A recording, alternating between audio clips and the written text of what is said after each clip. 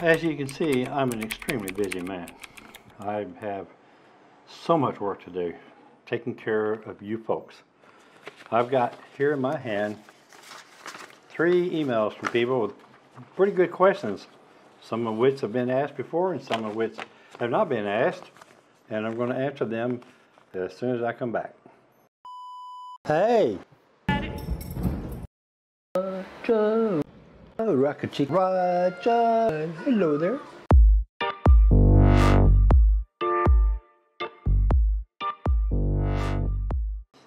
So I got three emails this week that I want to answer. I can't tell you who they're from. I'll mention first names only. I got one from Gary, I got one from Stefan, and I got one from Chris. And I'm going to take this time to try to answer these questions as best as I can. Uh, let's see here. The first one I want to talk about is short and sweet. Uh, Hi Don, I'd like to thank you for your time and effort in making videos about expat life in Ecuador. I was wondering if Elidel is available in Ecuador. Elidel, that's E-L-I-D-E-L, just like you see right here. Elidel, it's some kind of a cream, I think, that's used for something. Uh, for eczema or something like that. I don't know. But to answer your question, yes, it is. It is available here. When I finished breakfast this morning, I went straight to the pharmacy right next door because it was like right next door and and asked them. I went in there and said, Tienes Elidel Crema. Crema. Don't know if that's right or not, but I'm sure somebody will correct me on that. Uh, but anyway, I showed it to the lady, and she actually even gave me a price. And this seems expensive to me, but it may not be for you. Twenty-one dollars and fifty-seven cents. So, I don't know if that's what you're looking for, Stefan, but that's what I found. You can probably, you know, when you get here, if you're coming here, I assume you're coming here because you mentioned something here. You're considering Buenos Aires, Aires, eh, Buenos Aires. Um, you can shop around. I mean, you can shop pharmacies like crazy. And the mall has, uh, let's see, there's Cruz Azul, Fybeca, and then Pharmacia, Family Medica, Pharmacia, something like that. That's the one that I stopped in this morning. You can shop around and probably find even a better price than that, okay? Uh, you say that you, you, you have been prescribed to it in the UK and would not like to discontinue use. Also, can you tell me, could you tell me whether there are any cultural events where you live, such as piano concerts or plays? Really? Listen, there are always cultural events going on in this place. Maybe not like piano concerts and plays, there, you might find more of those in Cuenca or Quito, or maybe even Guayaquil, as far as Manta is concerned, I'm not sure about that, but there are always cultural events going on here, always. One way to find out, folks, if you haven't already done so, check into Mark Bradbury's Facebook page. I know some people don't like Facebook, but too bad. You know, we don't have any other source besides me, of course. But you can, any number of Facebook pages related to living in Ecuador will answer a lot of these questions about, you know, you can, you can get specific information about cultural events like places and times and how much it costs and so forth. Uh, also, how much do you pay for the security concierge in your apartment block? I don't pay anything for it, Chris. It's all come. I mean, Stephen, it, it comes with the with the deal. I mean, it's part of the. I think the association, the homeowners association pays for that. Every building on this block that I live on has guard service 24 7 and I, I I don't pay it my rent. I mean I'm sure I do. The landlord that owns my apartment probably pays a fee for it but it's included in my rent. I've never heard of anybody having to pay extra for it. And I'll tell you something else folks. The guards that work in these buildings are hardworking guys you know and girls and they don't make a lot of money, okay? I I help these guys as much as I can. And in, in the way that I help them is I, I give them things to do, and then I give them a couple dollars, you know, a couple or three dollars. Like, like for instance, uh, this is not a guard, but our um, our our maintenance guy in this building here, his name is Christian. I, have a light that's out in the ceiling. It's an LED light that's implanted in the ceiling. Um, I pointed out to him and give him twenty dollars and say, please go down to Mega Kywi and get me the right light, and he knows what to get, and come back and put it in for me. And so, the last time we did this, he went to Mega Kywi and got the light for me. Came back, came back up here with a ladder, climbed up there, put the light in for me, tested, make sure it's working. Went to give me my change back and my receipt and everything, and I let him keep the change. Okay, so I gave him a twenty dollar bill. The light was seven dollars and some change, and I let him have the rest for walking down to Mega Kywi, but three blocks away, coming back here, give the ladder, come up here, climb up there, put it in, test it, do all that for me, and that extra change that he got there fed him lunch for a week. And the guards, a lot of times the guards downstairs here, don't get me wrong, I'm not bragging, but a lot of times when I'm going over to La Novia to get a burger, I'll bring him back one. The guard that's sitting down there who gets up and opens the door for me and and when they see me coming down the street, they open the gate downstairs for me so I can walk in through the parking garage instead of having to go up the stairs. And you know, so I return the favor. I brought him, I bring him burger and fries and a drink, and they're forever grateful for that. So, and then they get paid. You know, they get a salary for coming here or an hourly pay. But, uh, but that's your answer, Stephen. I hope that helps you. And as usual, as I always tell everybody, if you have any more questions or you want to discuss more, send me an email and we'll talk about it. If you want to, you can send me your phone number and I'll call you. I do that with a lot of people, folks. I don't know if you know that or not. I'm, not beyond picking up my phone, my Google Voice phone, and calling you from right here in Manta. Don't give me your phone number in the comment section. I had somebody that do that, did that once, and I removed the comment immediately. Then she got mad at me because I removed her comment. But then I said, "What, moron? You put your phone number in the comment section, which is open to the whole world. So don't do that. Send it to me in an email. My email address is in the description, and a lot of times I put it at the bottom of the video, like right here. Okay. So, Gary wanted to know I saw your video about refundable Ecuadorian IVA taxes paid for cedula holders 65 and older. That would be me. I wonder if that happens. I wonder. I don't know if you can hear that.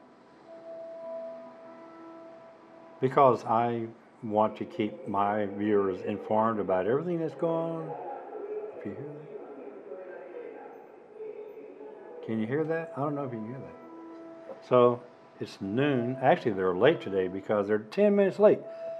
Every Sunday at noon, the test of the emergency broadcast system goes off here. It's all in Spanish. I remember the first time I heard that, I thought, what in the hell? And it'll be done here in just a second. I don't know if it's coming through. We'll know when we watch the video if it's coming through on the video, but it's very loud. And okay, we heard you the first three times. Uh, okay, they're done. I wonder if that opens up for potential Ecuadorian income tax. No, wait a minute. I'm sorry. I wonder if that opens us up for potential Ecuadorian income tax as will then be registered with SRI. Maybe. Maybe so, maybe no. Here's what I know. Okay. Uh, you have to earn a fairly substantial amount of money here before you have to pay income tax. I think it's like twelve thousand five hundred, and it's a graduated scale. Um, if you're still paying income tax in the United States, which most of us probably are, uh, there's documentation that you have to. There's two documents that you have to fill out, and file with the IRS to let them know that you have bank accounts and blah, blah, blah, and all your stuff here, if it exceeds a certain amount of money in value. Uh, I know people are gonna ask me about details about that. I've talked about it before in other videos.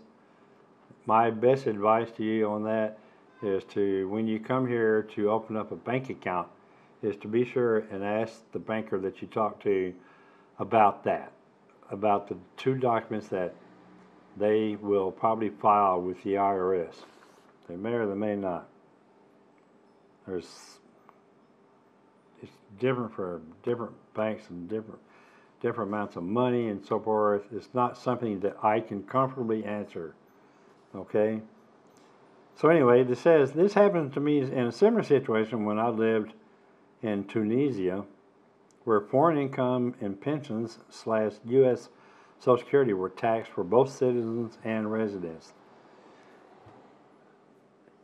You know, folks, I don't really like getting into this discussion because I don't really know enough about it. I can only tell you what I've done.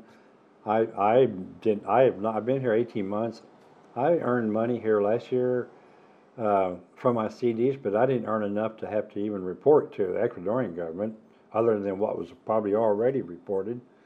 Um, I, I had to lump it with my Social Security and my YouTube income, and I had to lump it all together, and I paid income tax on all of it to uh, the good old U.S. of A. So, as you know, I don't like to give advice. My best advice in this case, the advice that I will give you, is to talk to a tax professional in Ecuador. There's plenty of them here. You can find them here. If you want me to find some for you, send me a note, drop something in the description, and I'll get some tax professionals' names and phone numbers and websites or whatever, and I'll provide them for you. Okay? But, Gary, to answer your question, I don't think this is going to be anything that you're going to have to worry about unless you have a lot of money and you're going to make a lot of money here. Also, the United States, from my understanding, you know, they have this anti double taxation law that if you pay income tax here, uh, you won't have to pay on it there or the other way around. Again, I don't want to get into this discussion because I'm not an expert on this. I can only tell you what I think and what I've had to do. Gary went on to say, I did an internet search about foreign income and the posts were old stating foreign income is not taxed. I'll check with an Ecuadorian tax accountant to see if that regulation still applies. And we all know that laws and regulations here are the flavor of the day. That is the truth. You never know from day to day what the law is going to be here. I just heard yesterday that uh, minimum wage went up to $450 a month. I saw it on one article in Gringo, not Gringo, my paper that I follow in Cuenca. There. Okay. The next guy, Chris. Chris asked me like 10 questions here, and I'm going to go through these uh, not as quickly as possible, but, but I'm going to try to be as brief as I can and still answer your questions, Chris. Longtime subscriber here. Thank you, sir. Or ma'am. I don't know if it's a guy or a girl. You never know. Chris. I know a Chris here that's a female. I know a Chris in the United States that's a male. So anyway, I don't know. Doesn't matter. I visited Ecuador last December and I had a great time except for the driving part. I'm a professional commercial driver. Boy, there's thousands of those here. but this was like being in an NASCAR race. You recommended not driving to visitors at that time, but of course I didn't listen. Anyway, if you're buying a car there, I rented, watch out for cheap pot metal rims on the tires and totally inadequate tire change kits. Okay, well, I am going to buy a car here. I'm going to buy a car here within the next couple of weeks. As soon as my driver's license is in my hand, then I'm going to go and buy a car. Don't know what I'm going to get, but I'm not going to buy the cheapy Chinese car, I don't think. And I'll take you for your word on this, Chris, about the cheap tire change kits and pop metal rims. I guess the best way to stop from damaging pot metal rims is stay out of those potholes. That's going to be a real challenge because there's some of these highways around here, nothing but potholes. You look down this highway and you see cars doing this number, and they're all dodging potholes. So, I am staying in Cuenca for one month at a place where you gave a good review. I figured if Grumpy Don gave this place a good review, how could I go wrong? I'll finish the last parts of my two part two year visa process and get my cedula. Then move to San Clemente for a month to scope out long term rentals on the coast. I uh, Chris, I'm I'm just gonna just come right off the bat and tell you, unless you know somebody in San Clemente, I, I would come to Manta. And then you can check out Crucita, San Clemente, Bahia, um, Canoa, all those beaches up to the north, and then you can also check the beaches down to the south, um, San Lorenzo, go down to Olón. You know, if you go, if you come to Manta, you can, you know, look at both ways. But maybe you already have something in San Clemente. The last time I went to San Clemente, I wasn't too impressed by what I saw. That doesn't mean that's a bad place, but you know, I didn't, I wasn't impressed by what I saw. So, some questions first, if you don't mind. Number one question The last I heard about the new airport in Manta was an opening date of December 6th. Have you heard anything? No. I, I've heard so many different opening dates for the airport that I gave up on trying to figure it out. I don't know. I, I'm in touch with a gentleman that is the president and CEO of the new Ecuatoriana Airlines that's going to be coming here. I thought they were going to be up and running in June, but I've had a couple talks with this gentleman since then, and super nice guy by the way, and uh, he's just now buying airplanes, and he's still getting seed money put together and investment money. He's, he's, he's finalizing everything and getting it ready. But I mean, as far as I know, he's definitely going to open up the airline. Here's going to be a regional carrier, and but as far as like the the airport is open now, you can take flights out of the Manta Airport here now and go to Quito, and I think that's about it. Maybe some other places, but you know, man, I tell you, you can't depend on anything you hear. That's one thing. If I was going to do a a bad news, bad bad things about Ecuador video, which I'm not going to do, um, one of the top of the list would be getting information, getting correct information. Number two, when you first came here to stay, what would you have left behind? I'll show you what I would have left behind. This stuff. I have sitting here, I have several thousand dollars worth of camera gear that I brought that I would have just left in the States. And I'll be brutally honest and tell you why I would have left it behind because I don't take this stuff out of this apartment. Sorry, folks, I'm too scared to walk around Manta uh, with $10,000 worth of camera gear. Um, anything could happen. I could fall on one of these pathetic sidewalks here. I could be walking, I could just see me walking down the street here. There's a sidewalk right across the street from the mall with an eye bolt sticking out of it. Sticks up about that high, right out of the concrete. I could just see me with my I got one this camera body and one lens that's about eight grand. I could just see me carrying that over my shoulder on that sidewalk and hitting that eye bolt sticking out of there and falling to the ground with that camera and that lens hanging off of it. Not going to happen, folks. It's not going to happen because I'm not going to give it an opportunity to happen. Now, when I get my car, I'm going to leave this city to go do photography work, and I'll carry my gear with me because I'll have it locked up in my car. I'll take it out where I need it and get back in, lock it back up in the car. And I won't be carrying it around on sidewalks of Manta.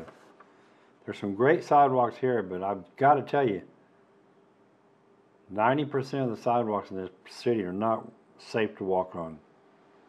You'd be better off to walk in the street and just dodge the cars.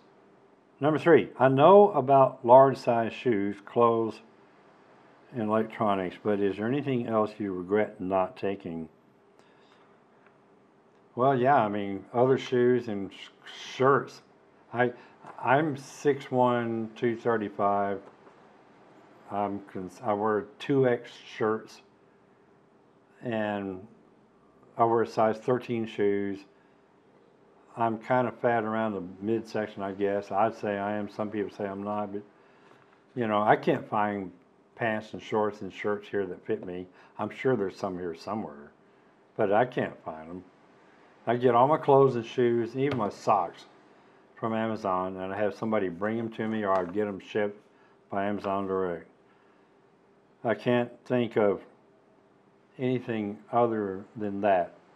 When you come here, especially when you come here to start off, uh, you want to come with as minimal of things as you can. Because let me tell you something, folks, the honeymoon doesn't last that long. If you know what I mean. And you don't want to pack and pack and pack to come and go. So, number four, let's see. Number four, are DJI products available here? For those of you that don't know, DJI, they, uh, the drone that I have is a DJI drone. The microphone system that I'm speaking on here that's attached to my shirt, you'll see is DJI. Uh, I don't know that it's available here. I've not seen it in any store. I think this stuff is probably a little bit uh, higher end than a lot of the electronics and stuff that you'll find here. I remember when I was in Cuenca, I was in the mall, the big mall there. Here's the name of it right here. They, I saw a GoPro 10 in there. That was probably, uh, in terms of multimedia and photography stuff, probably the most high-end GoPro system I saw in Ecuador, period.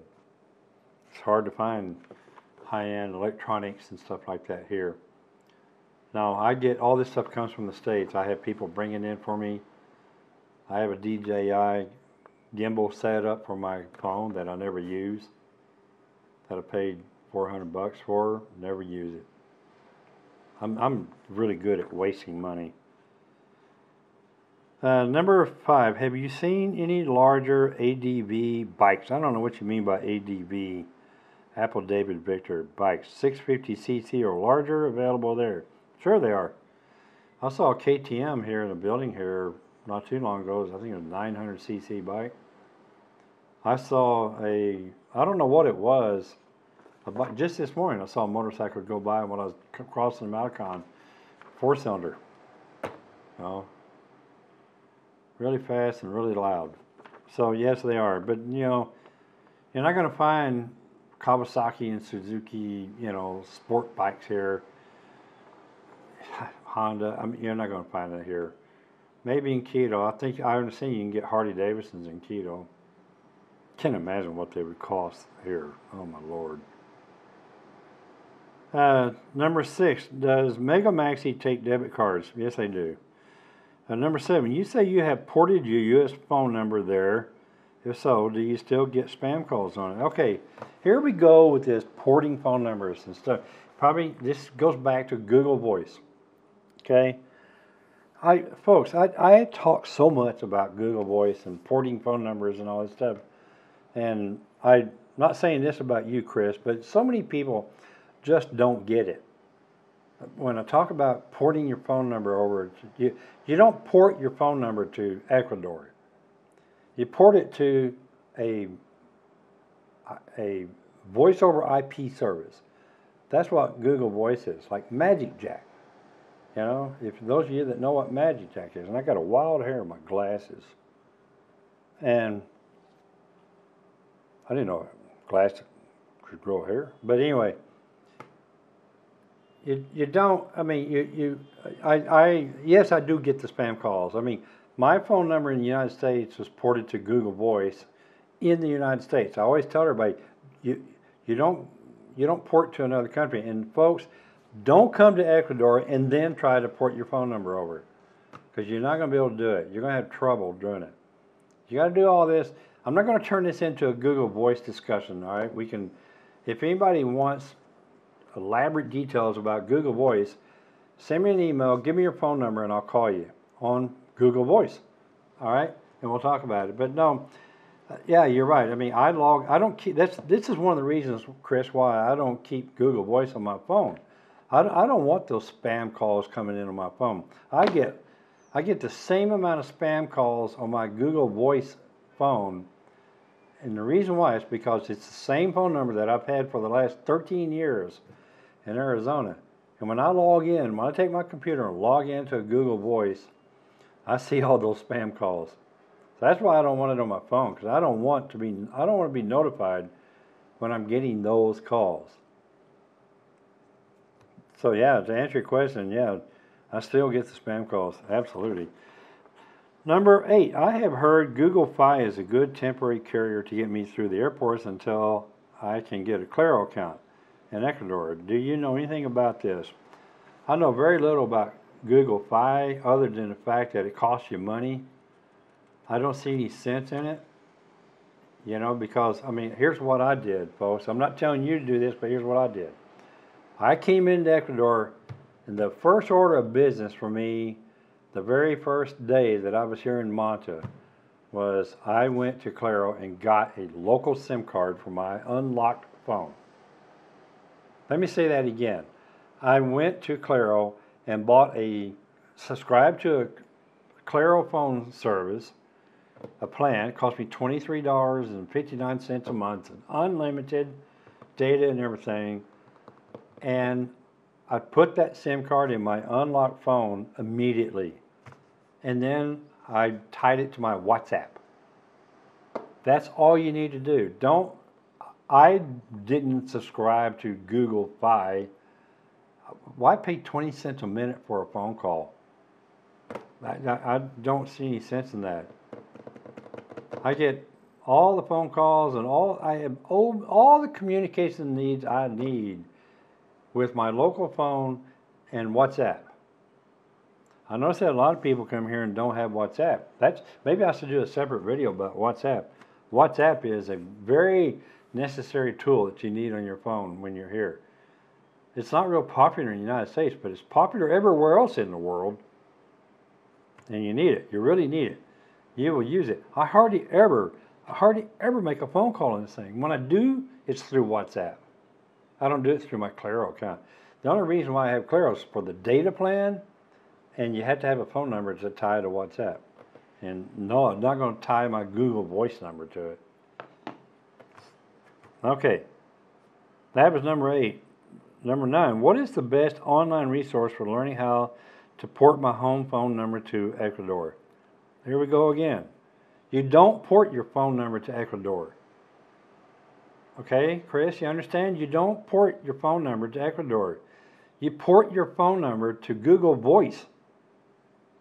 Google Voice is a voice over IP service. It's free.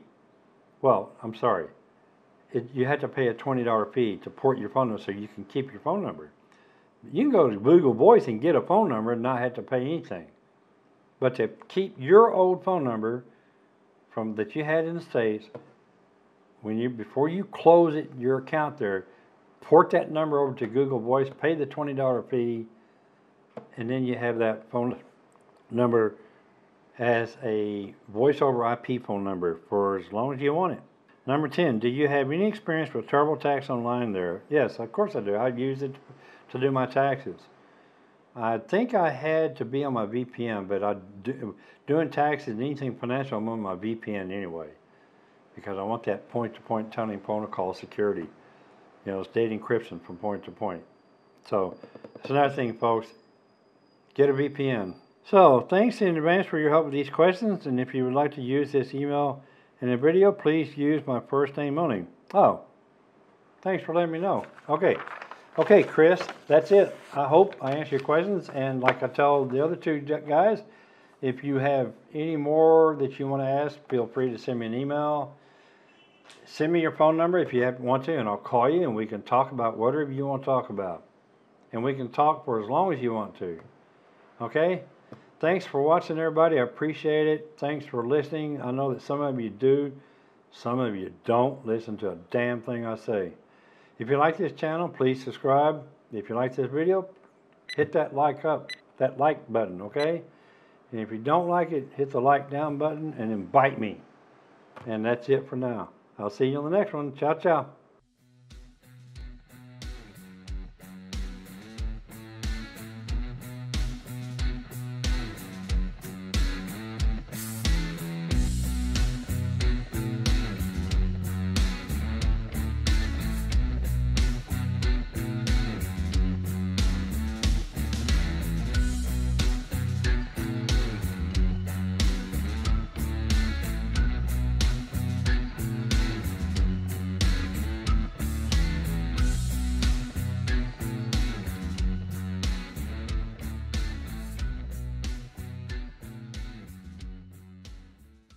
Today I'm going to be demonstrating how to defend yourself if your mom ever comes swinging at you with a sandal.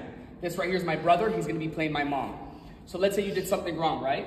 And she swings at you, pop, now you have wrist control. What you want to do now is move the trajectory of the sandal away from your face and then pivot inward. From here, you can either break her arm. What I like to do is turn it around, pop. Now she's disarmed and you have full control. Hey! Show me. Okay, guys, um, this is my actual mom. Uh, let's do this one more time. So let's say she swings at you, right?